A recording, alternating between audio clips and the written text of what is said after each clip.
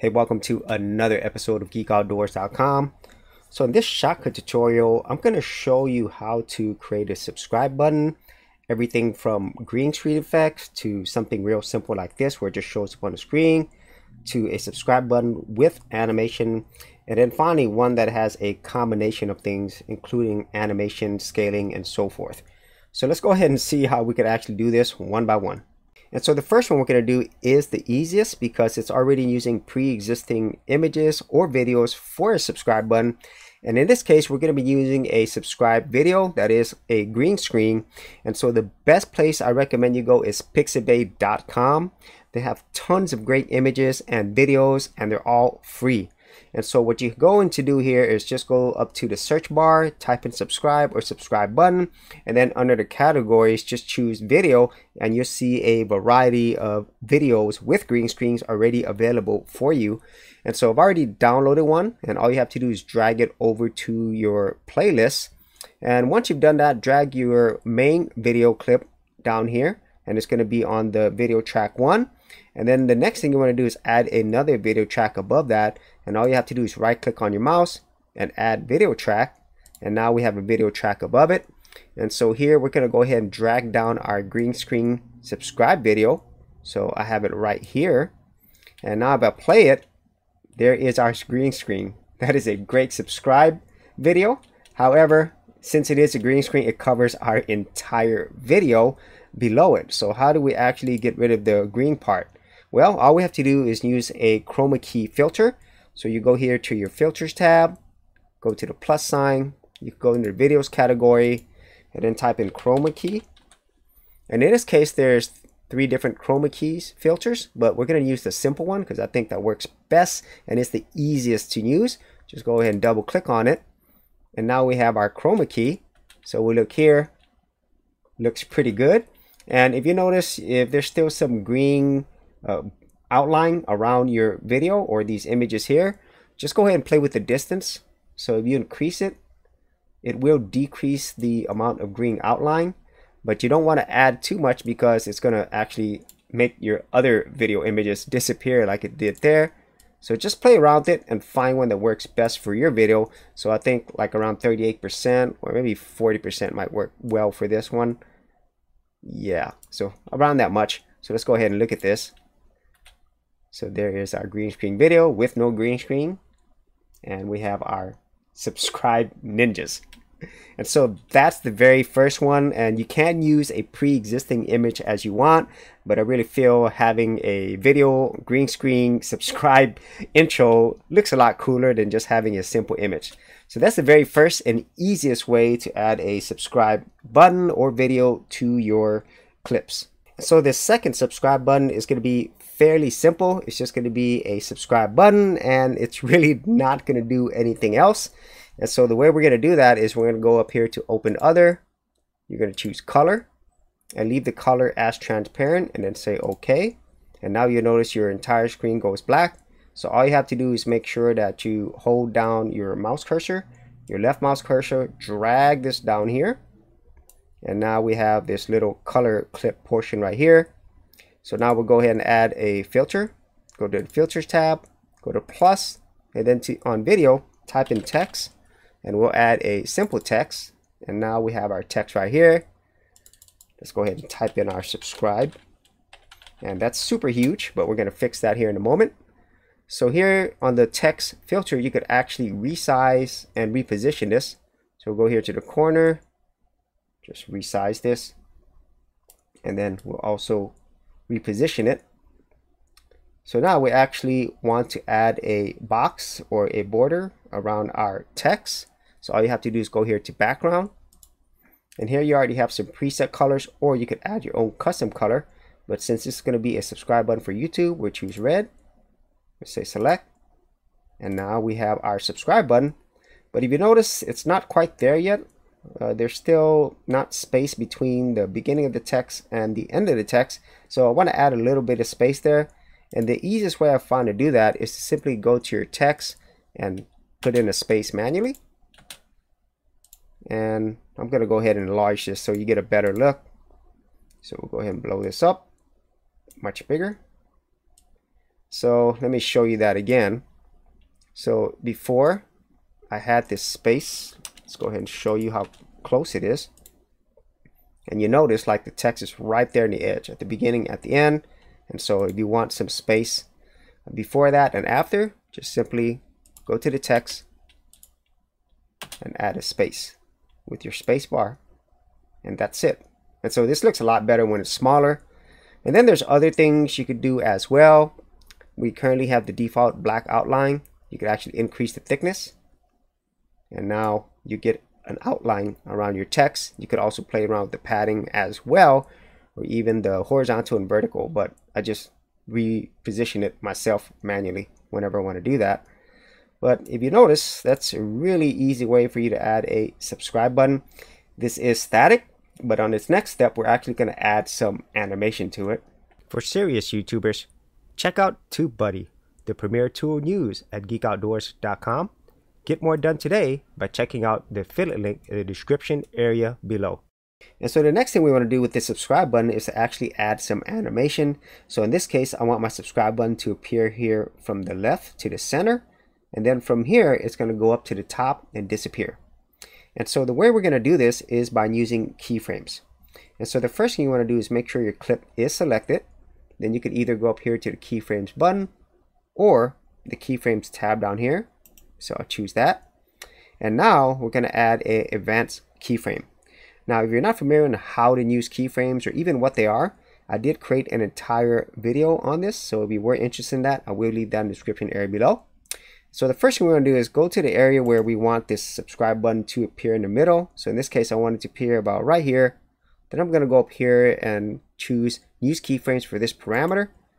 And so now you'll notice that there's this new track basically at the bottom. So this is your advanced keyframes. And here is a keyframe for this position right here with the subscribe button in the middle. But what I want to do is go to the beginning of this and I want it to not appear yet, you know, so basically it's going to come into the actual clip and move over to the middle. So here we're going to go ahead and add a keyframe. So we'll add a keyframe at playhead. If you notice right here in position and size. So now I have a keyframe here. So in this case, I want to move this over to the left. So it's completely gone. And now if I play this, it slides into the middle. And here, I want it to actually disappear to the top. So all I have to do is either add another keyframe or if you move this, it'll automatically add a keyframe for you. So now I have three different keyframes. So let's go ahead and look at this from the beginning.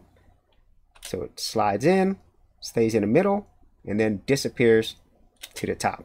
So we go back to our timeline. Let's watch this again. We'll play this, comes into the middle, and goes to the top. Now you could definitely play around with this. You know, you can make this longer if you want. All you have to do is extend the clip. So it's really up to you. And at the same time, if you head back over to your keyframes, you could also move the keyframes as well. So you can shorten or lengthen this however you want. And there's many different types of animations that you can use. But I really feel by using keyframes, that is the easiest way. But there's also another way that you could do this. You can use some pre-built keyframes. So if you go to your text filter, you'll notice there's some presets. But the only problem is whenever you use these presets, it's going to reset everything. So say for example, I wanted to slide in from the bottom. If I choose that and play it, it does have the actual animation with the keyframes already set. But the thing is, it pretty much resets all the work that you did before. So that's why I wanted to show you how to do this from beginning to end and adjusting the keyframes yourself. So now let's head over to the final step where we kind of combine everything in a little more complex manner.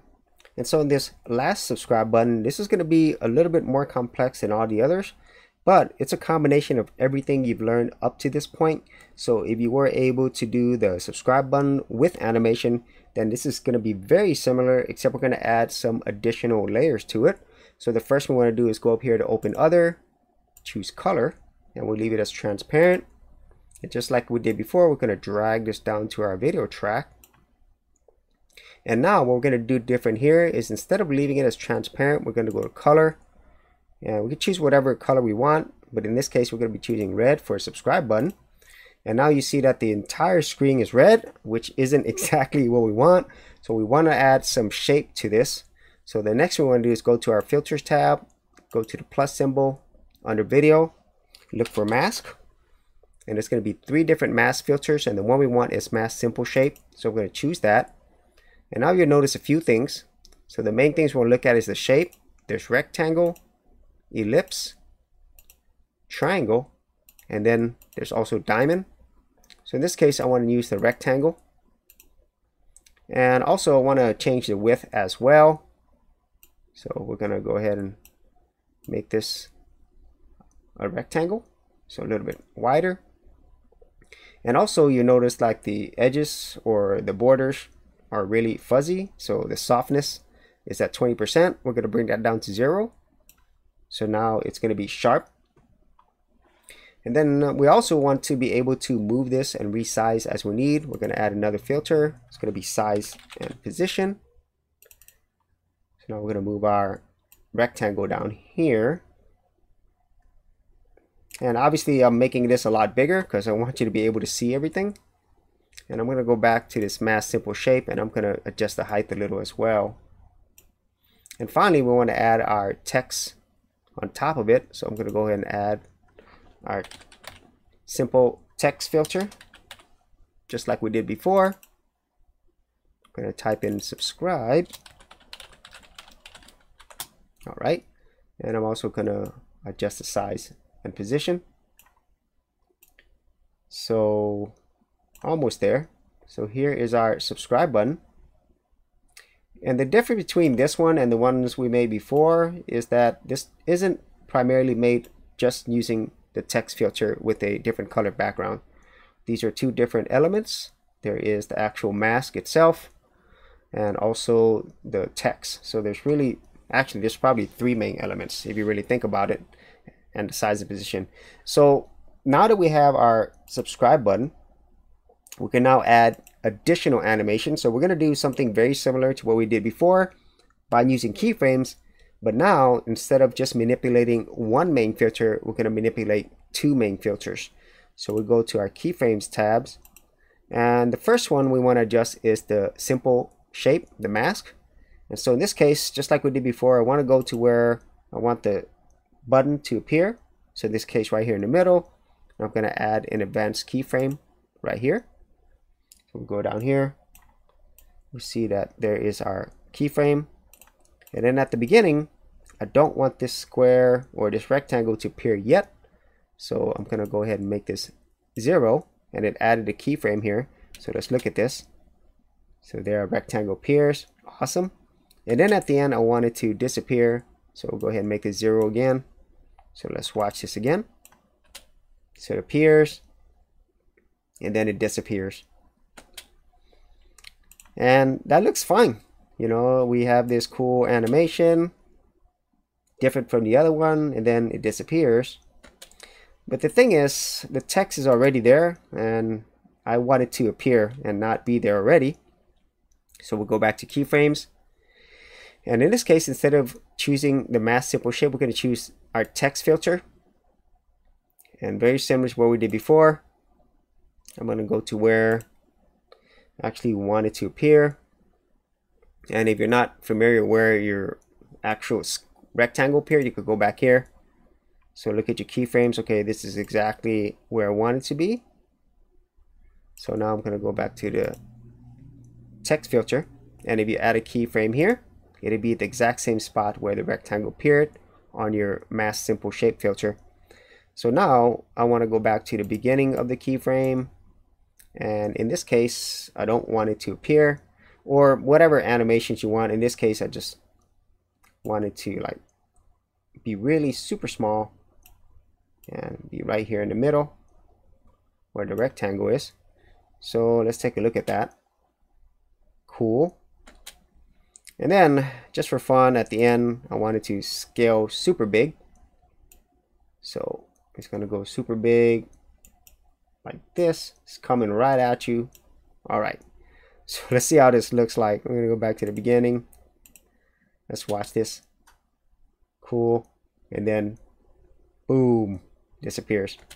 Now, there's many other ways in which you can manipulate this. You know, you could definitely make this look better than what I had here, or add more keyframes, or even if you wanted to, you could actually extend this clip. And if you go back to your keyframes, you could move your keyframes around. So there's many things that you could do to enhance this. But just by looking at this, you're now able to add a subscribe button from existing ones. You can create your own that's static or has animation, or you can have a combination of a lot of different effects all at once. So you can have a lot of fun with this, just creating your own subscribe button or using ones that have already been created for you. So you've actually had any thoughts on this or any other ways in which you create a subscribe button in Shotcut, be sure to leave that in the comments area below.